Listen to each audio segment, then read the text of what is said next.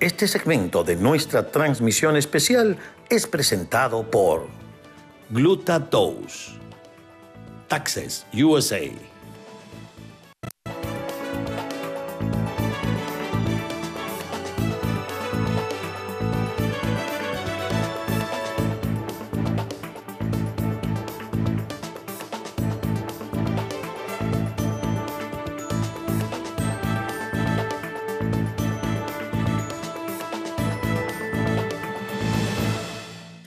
Amigas y amigos, continuamos con esta programación especial, EBTV contigo en casa y ahora mm, observamos con detenimiento lo que sucede en Venezuela ante mm, lo que es una condición en el que cada día se registra una gravedad del problema que atraviesa nuestro querido país. Si ya había sido golpeada por la crisis eh, mm, humanitaria que atraviesa no solamente la población, que se ha desplazado a lo largo de todo el hemisferio, sino también los venezolanos que se encuentran dentro de nuestra querida república.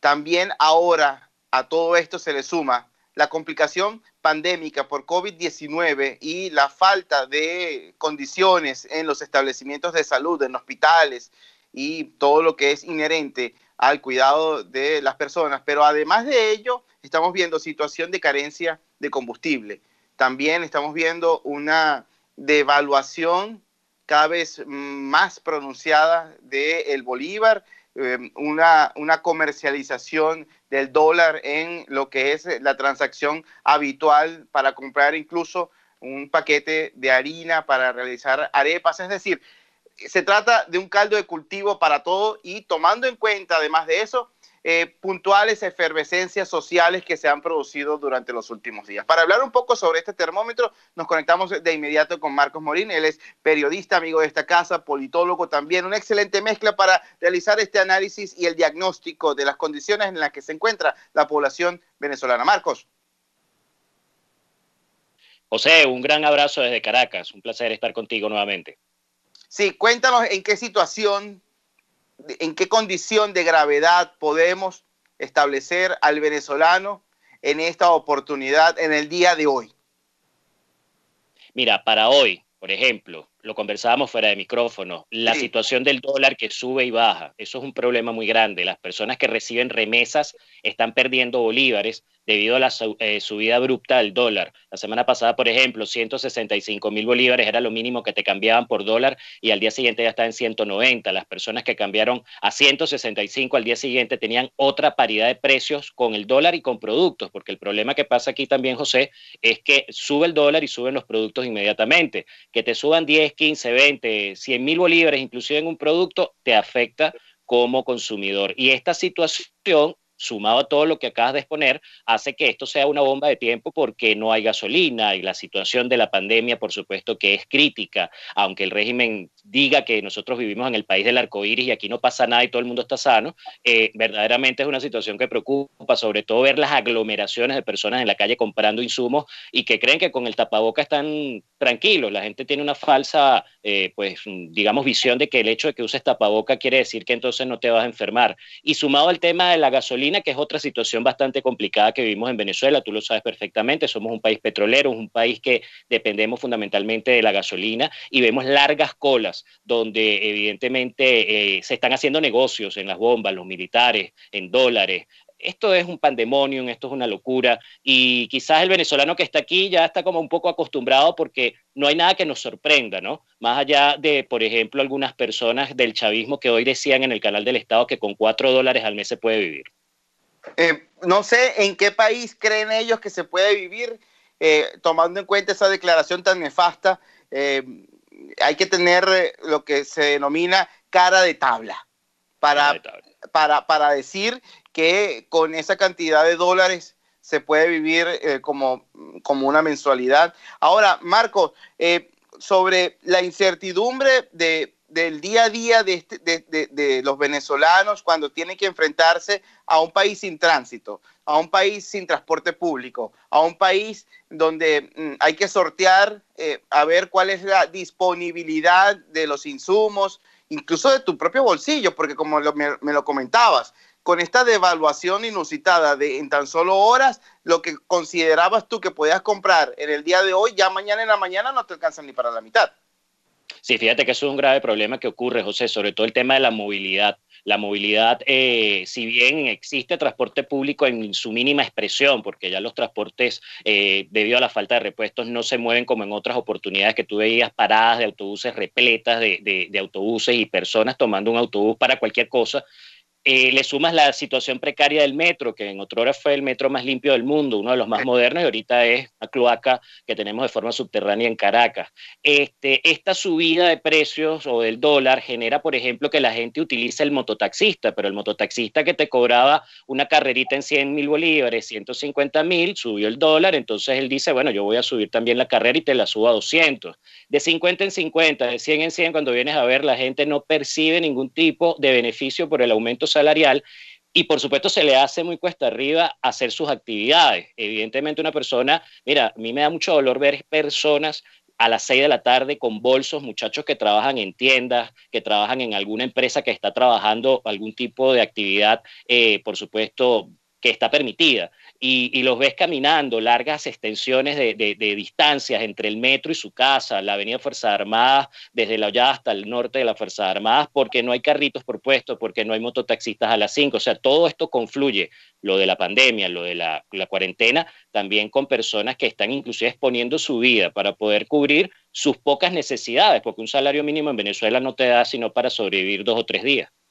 No debe ser fácil, sobre todo la pendiente inclinada a esa hora de regreso cuando ya has agotado todas tus fuerzas durante una jornada, desde la Hollada hasta el norte de la Avenida Fuerzas Armadas. Eh, Marco, sobre la educación, los muchachos, los jóvenes y los pequeños en casa, eh, comparamos un poco el escenario con Estados Unidos y bueno, por fortuna en este país eh, se han apoyado incluso proporcionándole a los estudiantes que no lo tengan algún tipo de dispositivo como una tableta para que puedan realizar eh, esta educación remota. ¿De qué herramientas están valiendo los educadores en nuestro país para evitar que los pequeños no falten con el cumplimiento de sus deberes a esta oportunidad?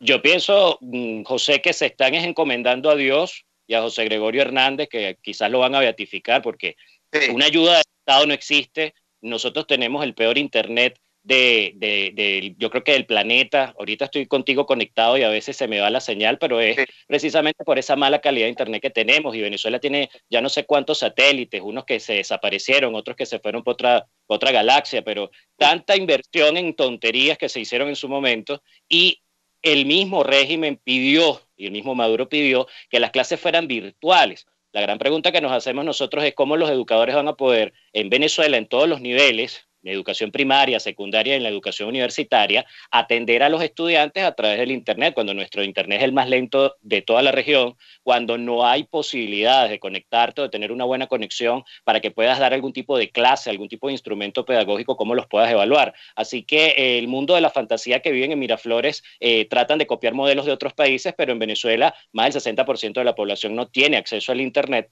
y esa es la única gran medida que ellos han dicho, bueno, vamos a mantener a los muchachos en las casas y vamos a hacer las clases que no sean presenciales. Evidentemente la calidad de ese estudiante, cuando lo vengamos a ver a final de año, es patética, es nula, y, bueno, Dios nos libre de esa generación que le ha tocado vivir este desastre, porque a nivel educativo el impacto ha sido muy duro, inclusive en las universidades hay mucha preocupación porque al no haber internet, gente que se está graduando, gente que está estudiando, bueno, no puede tener ese ritmo normal que tú y yo tuvimos en algún momento cuando estudiamos en una universidad en Venezuela.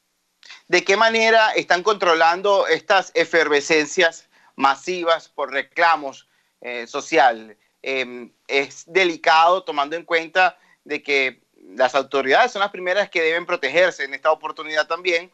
En cualquier país vemos que ellos son la primera línea de defensa. Quizás en Venezuela no ocurre em, tal cual con eh, el significado de esta expresión, tomando en cuenta los hechos de violencia y represión a los cuales hemos sido testigos en contra de la población venezolana, pero ¿de qué manera se están tratando de em, aliviar los ánimos y estas válvulas que pudiesen representar en algún momento, lamentablemente, una explosión social?